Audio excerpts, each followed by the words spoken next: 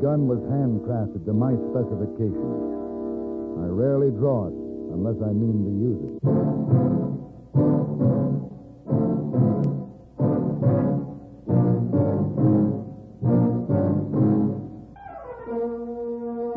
Have Gun Will Travel. Starring Mr. John Dehner as Paladin. San Francisco, 1875. The Carlton Hotel. Headquarters of a man called Paladin.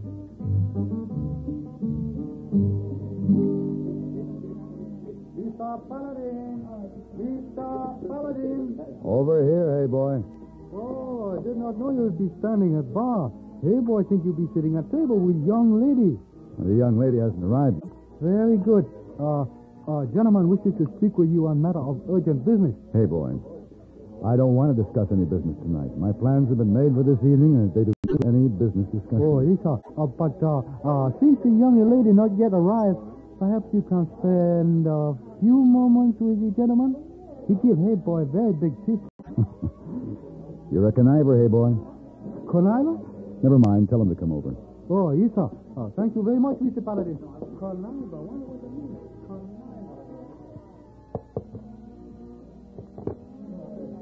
Mr. Paladin, Yes. the Chinese boy said you'd seen me. My name is Thomas McElrath. How do you do, Mr. McElrath? Uh, why don't we sit at the table over there? Oh, of course. Here, this all right for you? Yes, fine, thank you. Good. Well, I've heard a great deal about you, Mr. Paladin. How you travel all over the... Excuse me, Mr. McElrath, but since I have a previous engagement, perhaps you'd better get right to the point. Oh, of course. Uh, I'm the vice president of Pacific Savings Bank. My company wishes to hire you to guard a special shipment of gold to Los Angeles. How much gold? Well, I cannot disclose the amount until you've consented to accept the job. I understand. Well, how are you sending it? By stage to the Berry and Wellman Bank in Los Angeles. Uh, what with the wildcat speculation in Comstock silver, the banks in Los Angeles have been affected drastically. So Mr. Berry has asked Mr. Hudson, the president of our bank, for a loan, and since Mr. Hudson is a very good friend of Mr. Wellman, who is in Europe at the present time, he has decided to make the loan to Mr. Berry as, uh, well, more of a gesture to Mr. Wellman than anything else, so that the bank may endure the panic. Uh, do I make myself clear? Well, I, uh, I understand that you're sending the money by stage, and you want me to go along to see that it gets to Mr. Barry safely. Uh, precisely. Uh, would it be worth $500 for you? Well, it sounds like a reasonable figure. When does the stage leave? Tomorrow morning, 9 o'clock. All right, Mr. McElrath, I accept your offer. I'll meet you at the stage office tomorrow morning. I, I must warn you, Mr. Paladin. The shipment will consist of $50,000 in gold. A lot of money. And it could be a very dangerous trip. They all are, Mr. McElrath. Oh? And are they exciting, Mr. Paladin? Uh, not as exciting as spending an evening in San Francisco with an exotic young lady. Oh, if you'll excuse me, she just walked in.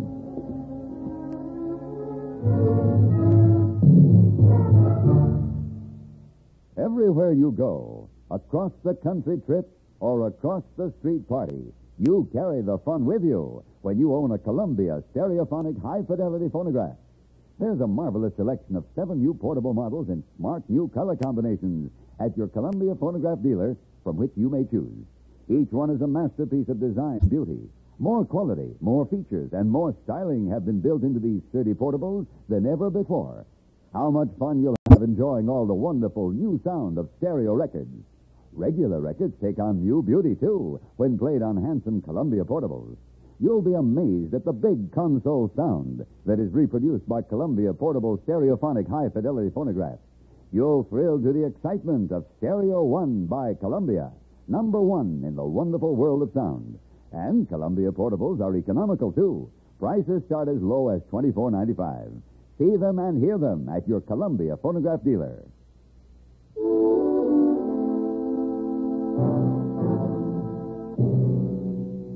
Next morning, Mr. McElrath met me at the stage office. He told me there had recently been many stage robberies in Southern California, but the bandidos under Clavado Martinez. The bank's plan in this all-important shipment of $50,000 was to put the money in a valise and hide it among the suitcases. The stage would go unguarded except for myself, posing as an unaware passenger, hoping that if we were stopped, Martinez would not notice the hidden valise. Traveling with me on the stage was a young lady named Laura Berry, who I learned was the daughter of the man I was to meet in Los Angeles. Do you think we'll ever get there, Mr. Paladin? It won't be too long now.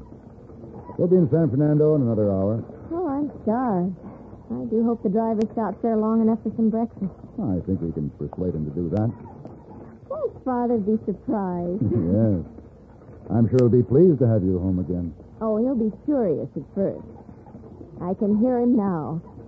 To think that his daughter would leave college and come home on the stage alone, all the way from San Francisco. He won't be convinced when I tell him I was perfectly safe and there was a very nice gentleman traveling with me. I haven't mentioned this to you, Miss Barry, but I have some business with your father, and I'll be seeing him when he arrives. Wonderful.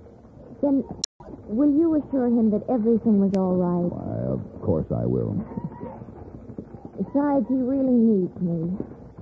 When he wrote how much trouble he was having at the bank and how difficult it was to keep the doors open, well, I just couldn't sit up there and spend his money for school expenses. He'll need that money. And he needs me to keep house for him and see that he gets three good meals a day. You're a very considerate daughter. I hope he thinks so. What? What's that? Uh, gunshot. Looks like we're going to have some trouble. What do you mean? There's some men riding toward us. There, see them? Yes? Well, what do they do? They're stopping the stage. Maybe Martinez. Martinez, the outlaw? Yes. I've heard of him. Well, they made killer. Now, you try to be calm. Well, is there anything you can do to stop them? Against Martinez and his banditos? Not without endangering our lives, Mr. Barry. You! Inside the coach! Come on! Now, Miss Barry, you do exactly as they say. Mr. Paladin. Mm-hmm. Senorita, outside. Anime. Here. I'll give you a hand.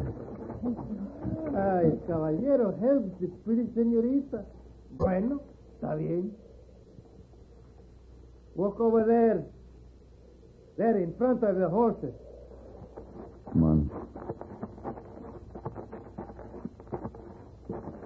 Know, now keep your hands above your head. The men like to pull the trigger.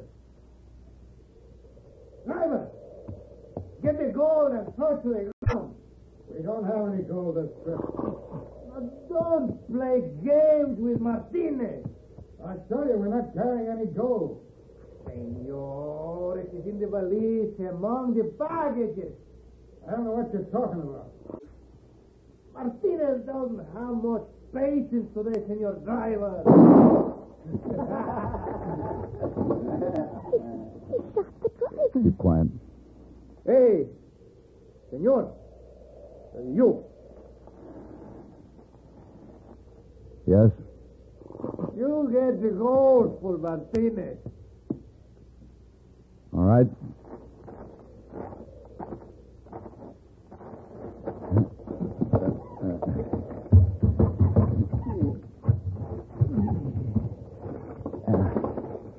Gracias. And now you come down and stand by the senorita again.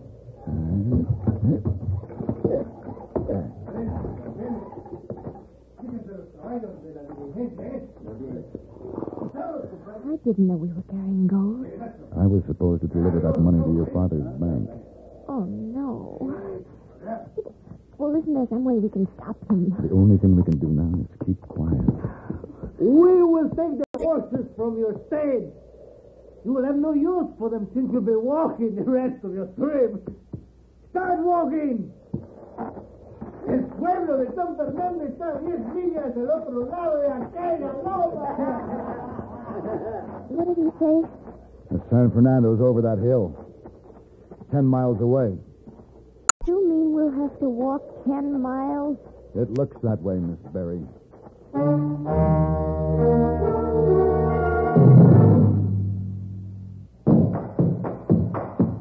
Winston tastes good, like a cigarette should, because. There's no and up front, up front ahead of the filter. And the flavor you get in a Winston cigarette comes from Filter Blend.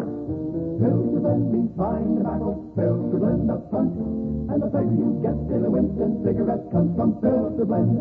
Filter Blend is a mighty good reason for you to smoke Winston because it means tobacco specially processed for filter smoking. A Winston secret. You get Winston's own pure white modern filter, plus the rich, delightful flavor of fine tobacco. There's Filter Blend up front. Up front ahead of the filter. And the fun you get in a Winston cigarette comes from Filter Blend. And makes Winston taste good like a cigarette should. Winston tastes good like a cigarette should.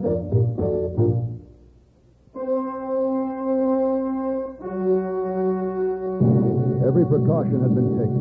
But somehow Martinez had known that our stage was carrying the gold shipment. I had failed to stop him. My job would not be complete until I had retrieved the gold and delivered it to Mr. Barry's bank in Los Angeles. Meanwhile, we trudged the rough surfaced wagon trail through the parched and desolate San Fernando Pass. Mr. Paladin, I'm afraid I'm going to have to stop and rest again. Oh, uh, that's all right, Miss Barry. You, How much further do we have to go? uh, I'd say another five miles. Oh,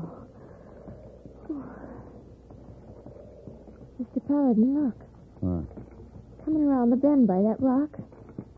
Ah, the wagon. Thank heavens. Maybe he'll take us into San Fernando. All depends on who he is. Well, if we gave him enough money. We'll see.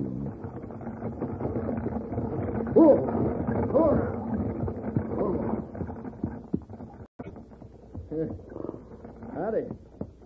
Hello. What are you folks doing walking about this part of the country? We were on the stage from San Francisco. Martinez held us up, killed the driver, took the horses. Well, if it's Martinez, you're lucky to be alive. Now, we need a ride into town, mister. How much would you charge to turn around and take us back? Well, sir, I, I hadn't figured on going back. I I got to get on into Bakersfield. I'd be glad to make it worth your time. Well, I Oh, you don't know how grateful we'd be.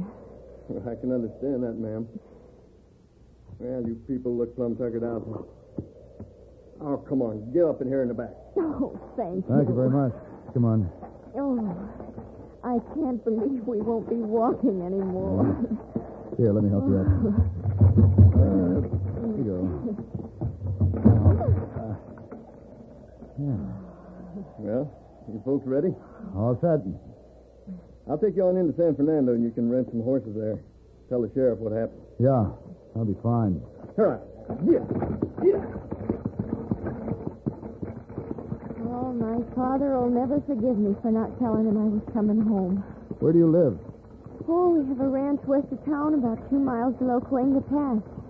The bank will be closed for the day by the time we get there. Your father will probably be at home. He'll be furious with me. I'm disappointed about the gold shipment. Yes. So, might as well settle back. It'll be quite a while before we get to your father's ranch.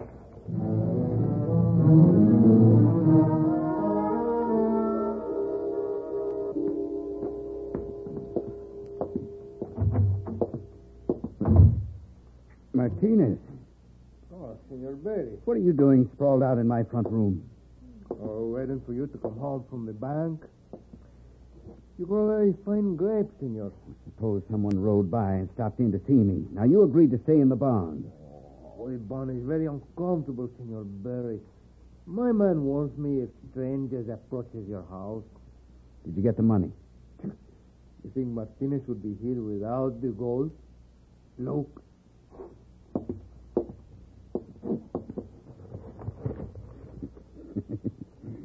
Ah, rascal, Martinez. I knew I could depend on you. Tell me, was there any trouble? Like taking milk from the kitty cat. Yeah, I'll keep my promise. Half of this is yours. Uh, I have already kept your promise. Half of the gold is with my men in Soledad Canyon, along with the horses we took from the stage. You have only one man with you. I see.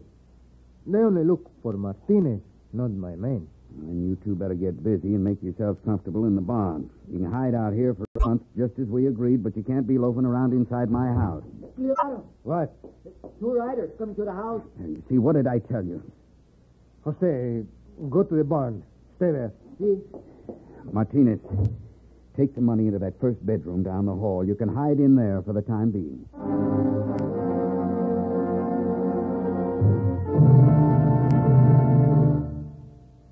Constipation is something people don't talk much about, but it can be a problem for anyone, even doctors. And when constipation occurs, it's interesting to see just what doctors consider important about a laxative they might use or recommend. Now, a majority of the doctors we heard from had this to say a laxative should be effective, gentle, as close to natural acting as possible, and a medicine that can be used with complete confidence. Well, pleasant tasting chocolated Ex-Lax is effective. Overnight, it helps you toward your normal regularity. Ex-Lax is gentle. Next morning, it gives you the closest thing to natural action. And that's why many doctors and millions of people use Ex-Lax with complete confidence. Ex-Lax, the laxative that helps you toward your normal regularity gently, overnight. Is Ex-Lax in your medicine cabinet? Laura and I rented two horses in San Fernando and rode on to her father's ranch. The closer we got, the faster we rode. I was caught up in Laura's anxiety to see her father and looked forward to a home cooked meal and a good night's rest. Mr. Barry greeted us at the front door. He was at once surprised, pleased, and angry. We settled down in a parlor, and I thought at the time that he was edgy. Justifiably so, as we discussed what had happened earlier in the day. And uh, you say the Pacific Savings Bank hired you to go along with that shipment? That's right. Well, now, they didn't tell me about that. I'll have to contact the sheriff tomorrow morning. I'll need his help to chase down Martinez and get that gold back to you, Mr. Barry. Yes, yes, of course. Now, Laura, you have to go back to school. I'm going to see that you're on the stage tomorrow morning. Father, I won't let you do that. You need me here. Why, we can't afford to spend any more money for school until the bank gets through this crisis. You let me worry about the bank and our financial trouble. You'll do what I say. Well, I'm not going to argue with you any more tonight, Father. I'm too tired. Now, if you'll excuse me, I'm going to change into some fresh clothes. Uh, Laura, Yes, Father. never mind. Stubborn as a mule. Her mother was the same way, traveling down here from San Francisco all alone. You seem uneasy, Mr. Barry. Well, why shouldn't I be? A daughter like that. What? That's Laura. Martinez. Oh, we meet again, senor. Laura. Don't shoot the gun. The ball would hit the senorita first. You let her go. Who is this man, Paladin? Martinez. How did he get in here? Your face has lost its blood, Senor Barry. You think you see a ghost? Turn my daughter loose, Martinez. Why? She could not mean very much to you if you let her ride the stage I robbed for you. Keep your mouth shut. But I make a bargain with you. I turn her loose if you give me your half of the gold. You let her go. Now! You stay back, Laura.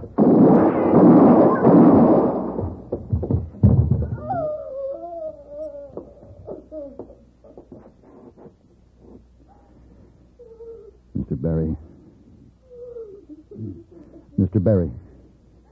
Did, did you kill him? Yes. Paladin, half the gold is in this room. Tell the sheriff the other half is in Soledad Canyon with Martinez men. There's one man not back in the barn. Try to make Laura understand. I, I'm sorry. I'm sorry.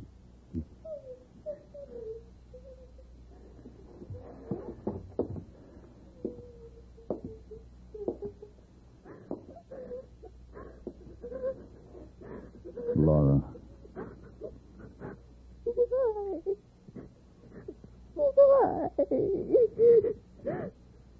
Laura. Money can do evil things to men. If your father had lived, the suffering would have been much worse than it will be now.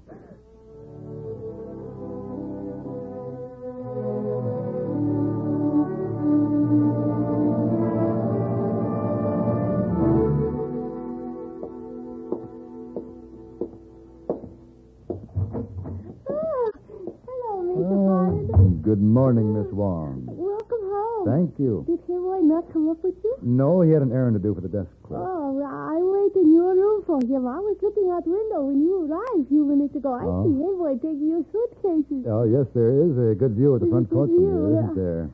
Oh, yes, sir. Very interesting. I also see Hillboy give wave of hand to a lovely tiny girl who walked by. Oh, now, Miss Wong. You wouldn't be jealous of Hey Boy, would you? Maybe. Hmm? Little tiny bit. Oh, That's bad. Oh. Uh, perhaps Miss Wong should not let him know? Now, that's a very good thought. Oh. You will not tell him, Mr. Paladin? No, Oh. no. It'll be our secret. Oh, yes, sir. Our secret.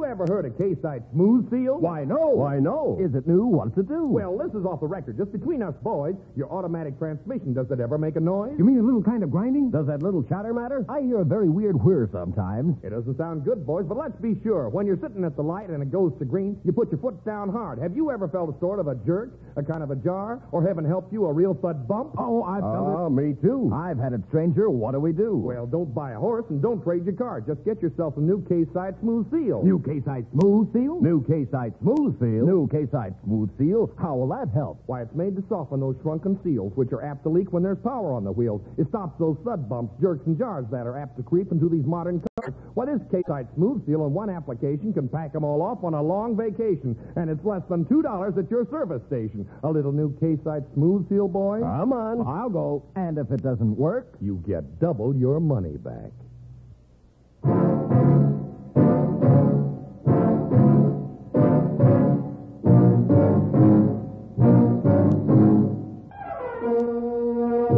Have Gun Will Travel. Created by Herb Meadow and Sam Rolfe, is produced and directed in Hollywood by Frank Paris and stars John Dehner as Paladin, with Ben Wright as Hey Boy and Virginia Gregg as Miss Wong. Tonight's story was specially written for Have Gun Will Travel by Mr. Paris. Featured in the cast were Vic Perrin, Don Diamond, Jack Edwards, Joe Cranston, and Eleanor Berry. This is Hugh Douglas, inviting you to join us again next week when CBS Radio presents Have Gun Will Travel.